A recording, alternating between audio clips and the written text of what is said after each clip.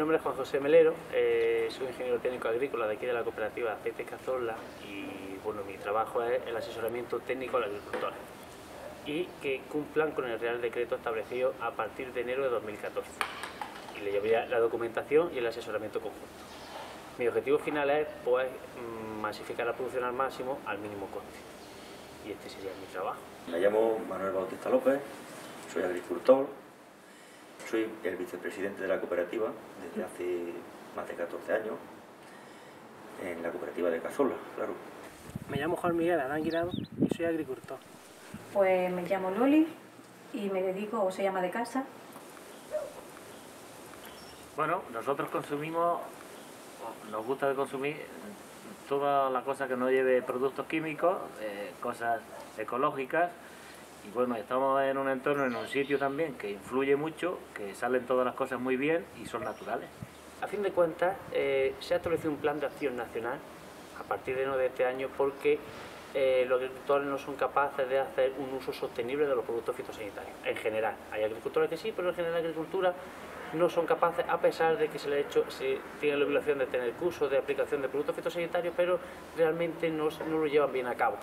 Entonces, pues bueno, eh, desde, desde el Ministerio de Agricultura, pues nada, han establecido una normativa para que lo cumplan a rajatabla. La normativa dice lo siguiente, quieren contemplar lo que se llama gestión integrada de plagas, que es lo que contemplaba, como te he dicho antes, producción integral. La normativa lo que dice es que se utilizan productos fitosanitarios solo y cuando haga falta. ¿vale? Y para eso los técnicos tienen que tener un control de la plaga en distintas zonas. ¿vale? Y, y eso es lo que te comentaba antes, que tienen que estar informados los agricultores en todo momento, vía cartel o vía mía personal, que soy el otro asesoro, debe estar informado en todo momento. Y si la plaga supera un umbral de años, se trata, si no, estaría totalmente prohibido. Y se están echando eh, en el campo solamente lo que, se, lo que es eh, por parte de los, de los técnicos. No, el agricultor no echa así por sí lo que le conviene ni nada de eso.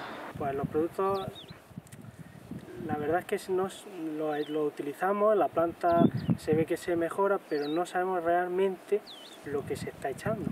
Si sería beneficioso, perjudicial, es lo que yo pienso. Lo que la planta lo necesita y se lo, y se lo estamos echando para aportarle más, más rendimiento. Bueno, que se debe de usar solamente cuando no haya más, más remedio que usarlo. Y, cuanto menos mejor, por supuesto que sí. Entonces esto sí que está bien regulado. Nosotros, como pertenecemos a un tipo de producción en el cual podemos ayudarnos de estos productos fitosanitarios para, a fin de cuentas, eh, llegar al objetivo de masificar producción al mínimo coste. Todo se basa en, en, el, en, el, beneficio, se basa todo en el beneficio. Si tengo hierba no puedo coger la aceituna del suelo, entonces tengo que tratarla. Eh, antes se cogía a mano y hoy se coge con maquinaria. Lo cultivamos ahora más o menos como, lo hemos, como nuestros abuelos, nuestros padres, lo han ido creando ellos, como nosotros hemos visto que ellos lo han sembrado y lo han producido y nosotros pues que ahora pues bueno hay gente que no que no se adapta a lo de antes pues cura y hace sus cosas pero nosotros lo estamos haciendo justamente pues como nosotros lo hemos visto en nuestra casa a lo antiguo, a lo antiguo de nuestros padres, nuestros abuelos como ellos lo han cultivado siempre con su estiércol y ya Dices está que la diferencia, la diferencia es grande lo que pasa es que que ahora pues no, tampoco se crían muchas cosas así ecológicas, muchos, porque yo creo que está todo contaminado de tantas curas, de tantas placas, de cosas, de tantas cosas. Los productos que se utilizan son nocivos. ¿eh? Un 90%, bueno, un 100% son nocivos, no llegan a ser tóxicos. Entonces, si es cierto que si se hace un mal uso, una ingestión, un contacto directo a los ojos, pues bueno, no dejan de ser productos nocivos que sí que podrían tener un problema no muy grave porque son productos nocivos. Cuando se echa cuando se echa veneno pues la verdad es que el veneno eso está ahí y tiene que perjudicarles bueno no, no tiene que ser aunque ya le han bajado mucha fuerza a los venenos ya no es lo que era pero que cuando se trata con, con veneno pues eso está ahí. Mal sí porque yo creo que, hay, que por eso haya más enfermedades y más de los productos químicos se nota un disparate se nota un montón además yo Se que los días que están curando para aquí todo esto es que casi evito de salir a la calle porque a mí es que me cae muy mal a mí me duele la cabeza, me, te notas muy, muy cargado de, de, productos que no. Yo por, los días que están por aquí es que además que no quiero ni estar por aquí. se nota el, el entorno de la atmósfera se nota que Entonces es que se nota bastante. Yo, por ejemplo, ayer mañana estuve echando tratamientos también, estuve echando tratamientos. Y, y en los ojos, luego la piel te huele, en fin, hay una serie de cosas que, que se No, no, nota yo, bastante. Yo es que si me pongo a curar, aunque me ponga muy protegida, es que me escuece la piel. A donde me caiga es que me escuece. ¿Por qué? Porque no, sé que yo estoy contra de todos esos productos, estoy contra de ellos. Puedes sentir dolor de cabeza, dolor de cabeza y que no puedas respirar bien porque, vamos, no te puedes acercar. Cuando están curando no, no te puedes acercar, estar cerca de, de los productos, tienes que estar... También lo- los animales de, eh, por qué decirte, pues como perdices y cosas de estas, también beben- hay muchas zonas que ya se ha puesto riego, beben el agua de, de los riegos, que ya va con, su, con el abono, y claro que sí hay una sí. Por ejemplo, los nidos que, que se comenta que cuando cura se, se estropean y eso, yo ahí no he llegado a verlo realmente. Si, el nido ha desaparecido cuando has curado o no. Lo que sí he visto es cuando en el riego se echa, se echa abono, abono inyectado en el riego, ahí sí he visto pajarillos al lado de donde cae el agua muertos. Ahí sí he visto y liebrecillas chicas, ahí vio agua y entonces sobre todo los años que están muy secos, que no hay agua nada más que la que aporta por el riego, ahí sí, ahí sí he visto yo que, que se, se mueren los animales. Ya está a la, orden del día este tema, porque es que eh, lo, que está- sí estamos haciendo al mismo tiempo que se eh, echa un insecticida, pues estás matando, estás matando también el insecto, pero también al, estás matando al que a él lo mataba antes, o sea, eh, el mismo que le ayuda al agricultor también te lo estás cargando. ¿no? Es un tema que se ha hablado muchas veces, pues que cuando lo echas no vamos que te lo cargas eso es cierto que se ha hecho un uso abusivo del producto fitosanitario y los microecosistemas que tenemos aquí en esta zona se han visto afectados porque hemos ido eliminando enemigos naturales de las plagas. Las plagas cada vez se convertían en un mayor problema porque no tenían enemigos naturales que los combatiesen. Entonces sí es cierto que al, hacerse un, un uso tan abusivo de productos fitos- fitosanitarios se ha llegado a implantar esta normativa para que este uso tan excesivo no siga aumentando y se haga un uso más racional. Es que antes bebía agua en cualquier sitio, en cualquier fuente, ahora no puede beber agua en cualquier fuente. Porque todo eso se está filtrando en la tierra y todos esos son venenos que nos estamos, estamos tomando todos. Y bueno, ahora mismo, vale, a la, Ahora cuando lar- a la larga, a la larga casi tenemos en la conciencia que cada vez se va a complicar más.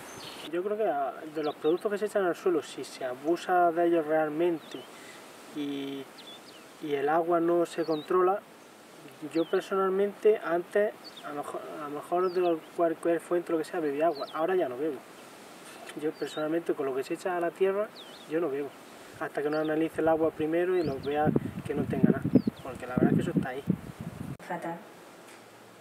Fatal, yo lo veo fatal. Cada vez más alergias, más, más enfermedades, cada vez muchas más. La evolución que ha habido desde un, tiempo eh, no muy lejano es que eh, la producción que, antes había eh, en un olivo se consideraba que con unos 50 kilos de aceituna era una cosecha aceptable. Hoy, en aquella época no se hacían esos tratamientos, no se hacían tantos tratamientos, se echaba un poco de abono y poco más y salía sobre, sobre esa cantidad. Hoy día, pues claro, con, lo- con todo lo que se está echando, eh, de abono y, y todo esto, pues claro, el, el aumento está rondando casi el doble de, de la cantidad. Como lo natural ni nada. Porque eso lo lleva en tu salud. Eso lo lleva en tu salud. Hay muy poquito lleva- ya que no sea natural, pero Pero lo poco que queda se lo poco que queda, si seguimos así, se va a perder. Es una lástima. Porque la prueba está que antes había tantas enfermedades y tantas cosas y ahora porque hay de todo. Sé que sale ya un crío recién nacido sale con enfermedad. De hecho está que los productos, los productos que son ecológicos son mejores. Entonces esa, esa calidad, si no hubiera productos, si no se le echara productos, saldría mejor. Habría menos rendimiento, pero saldría más calidad. Porque son naturales. Porque yo, los productos que, están, que llevan química, vamos, que están con formigaciones y cosas de esas, no, no me gusta. Eh, nosotros, eh, aparte de olivar, tam- también tenemos huerta, entonces nosotros eh, seguimos con la, con la tradición, aquí en, la- con marca de Cazorla. La mayoría de la gente tiene sus huertas y, y criamos nuestros tomates, pepinos, todo, todo. Se hacen las conservas, entonces claro, sí, preferimos lo, lo nuestro, natural antes que lo... La mayoría, la mayoría de las cosas son negocios, pero eso para verlo hay que probarlo. Entonces cuando lo pruebes y te des cuenta de lo Eso que hay, es- probar un producto ecológico, un producto que no se ha echado nada y un producto que lleva químicos. Eso se nota bastante. En todo, en el sabor, en el tiempo que te aguanta, porque cojas un, un tomate que no tiene cura ninguna y perfectamente te aguanta una semana sin meterlo en el frigorífico. Coge un tomate de los otros que tiene química y a ver si en una semana lo puedes tener fuera del frigorífico. en las huertas. Aquí hay gente que se dedica a las huertas y esos productos pues son naturales. Esos son productos naturales que vamos, que no llevan nada, ni abonos ni, ni nada. Y yo esos son los que me gustan, los que, los que uso, vamos, los que voy comprando y, los que me gusta de, de La gastar. verdad es que bueno, bueno, si lleva algo, lleva productos, no debe de ser, el ecológico será mejor.